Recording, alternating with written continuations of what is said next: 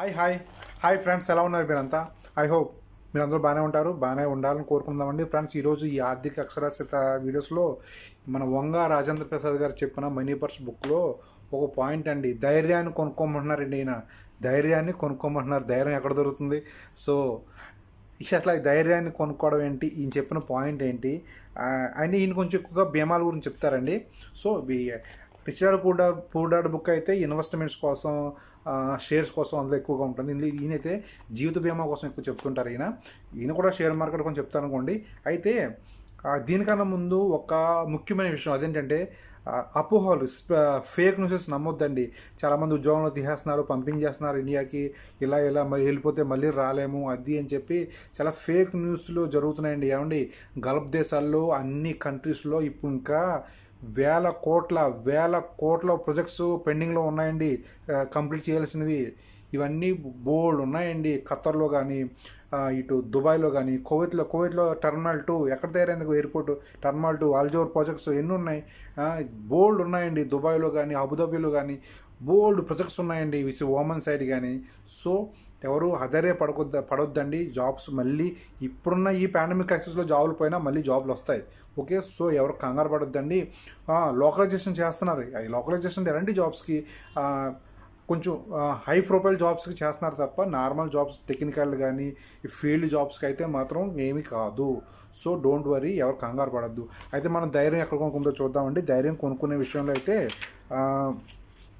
ఈయన ఒక పాయింట్ చెప్తున్నారు. మార్కెట్లో ధైర్యాన్ని అమ్మరు.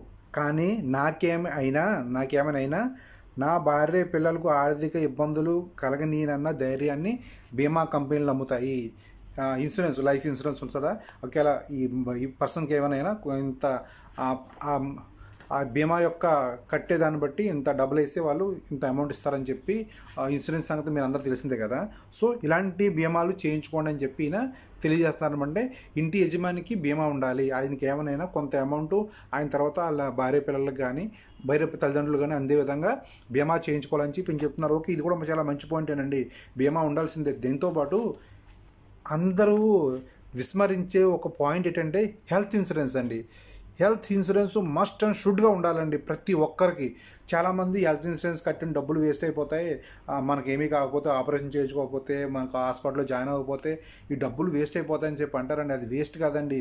హెల్త్ ఇన్సూరెన్స్ మీకు నిరంతరం రక్షణ. మీకు కానీ మీ ఫ్యామిలీ కానీ అందరికీ ఏమైనా హెల్త్ ఇన్సూరెన్స్ ఉంటే రేపొద్దున పొరపాటున అనుకోని రోగం వచ్చినా అనుకోని ఎమర్జెన్సీ మెడికల్ అవసరం వచ్చినా ఆ ఇన్సూరెన్స్ కవర్ చేస్తుంది. ఆ రోజు మీ జేబులో డబ్బులు తీయాల్సిన అవసరం ఉండదండి. నిజమండి ఇది చాలా హెల్త్ ఇన్సూరెన్స్ ఏది ఉండాలి బీమా లేకపోయినా కానీ హెల్త్ ఇన్సూరెన్స్ హెల్త్ ఇన్సూరెన్స్ ఉండాలండి.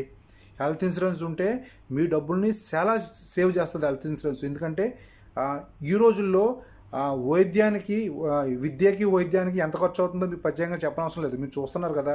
సో వైద్యానికి హెవీ హెవీ అమౌంట్ బాగా స్పెండ్ అవుతుంది. సో అందువల్ల ఏంటంటే హెల్త్ ఇన్సూరెన్స్ కూడా మస్ట్ అండ్ షుడ్ అండి. ఎందుకంటే హెల్త్ ఇన్సూరెన్స్ చాలామంది వేస్ట్ అవసరం లేదంటారు. ఫ్రెండ్ ఒక విషయం మా ఊర్లో ఫైర్ ఇంజిన్ ఎందు- ఉందండి. మా ఊర్లో ఫైర్ ఇంజిన్ ఎందు- ఇంజిన్ ఉంది. మంటలను ఆరిపేది ఇల్లు కాలిపోతే. కాకపోతే మా ఊర్లో ఇల్లు కాలిపోలేదు ఫైర్ ఇంజిన్ వేస్ట్ అనుకుంటామా? అని అనుకుంటే అది మన అది మన తప్పే. ఎందుకంటే చెప్పలేం ఎప్పుడేం జరుగుతుందో ఫైర్ ఇంజిన్ అవసరమే. అదేవిధంగా హెల్త్ ఇన్సూరెన్స్ కూడా మనకి అవసరమే. అవసరమేనండి. దాంతోపాటు ఇంకో పాయింట్ చూడండి. ఇది ఏం చెప్పిన పాయింటే హెల్త్ ఇన్సూరెన్స్ కూడా ఈ వంగారాజేంద్ర గారు చెప్పిన పాయింట్ ఏం చెప్పిన పాయింట్ ఏం కాదండి ఇది. సో ఇంకో విషయం అండి. చాలామంది ఈ బీమాలు కట్టే సమయంలో కానీ సో తర్వాత హెల్త్ ఇన్సూరెన్స్ కట్టే విషయంలో కానీ చాలామంది అంటే middle class upper middle class ఈ లోవర్ క్లాస్లో ఉన్న మాట్లాడంటే వీళ్ళు ఏమంటారంటే మాకు చాలీ చాలని జీవితంతో ఇల్లు గడుపుతున్నాము మాకెందుకు ఈ బీమా ప్రీమియము? అది అని చెప్పి అంటుంటారు ఎక్కువ. మీ అక్కడ కట్టగలను అని చెప్పి అంటుంటారనమాట సో అయితే ఏం చెప్పేది ఏంటంటే ఇందు చూడండి ఇందులో మంచి పాయింట్ చెప్పారు ఆయన. చాలీ చాలని జీవితంలో ఇల్లు గడవడం కష్టంగా ఉంది. చాలీ చాలని జీతంతో ఇల్లు కట్టడమే కష్టంగా ఉంది.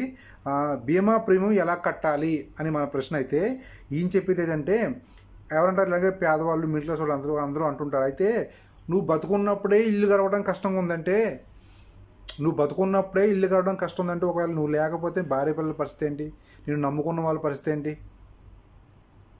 చూడండి ఎంత ఎక్సలెంట్ పాయింట్. మనం ఏ నా పరిస్థితులు బాగాలేదు నేను కట్టగలరా భయ్ అనుకుంటాం కదండి. మనం ఉన్నప్పుడే పరిస్థితులు బాగాలంటే మనం లేనప్పుడు పరిస్థితులు ఇంకెంత ఇంకెంత భయంకరంగా ఉంటాయి. ఇది ఫ్రెండ్స్ ఇది ఒక చాలా ఇంపార్టెంట్ పాయింట్ పాయింట్స్ అండి ఇవి. చాలామంది ఈ ఆరోగ్య బీమా కానీ కొంచెం బాగా సెక్యూర్ని ఇచ్చే మంచి మంచి పాలసీస్ లాగా పాలసీస్ కానీ కట్టుకోవడం ఓ విధంగా మంచిదేనండి. ఈ వంగరాశి ప్రసాద్ గారు చెప్పిన మాటల ప్రకారం హెల్త్ ఇన్సూరెన్స్ మాత్రం మస్ట్ అండ్ షుడ్ అండి.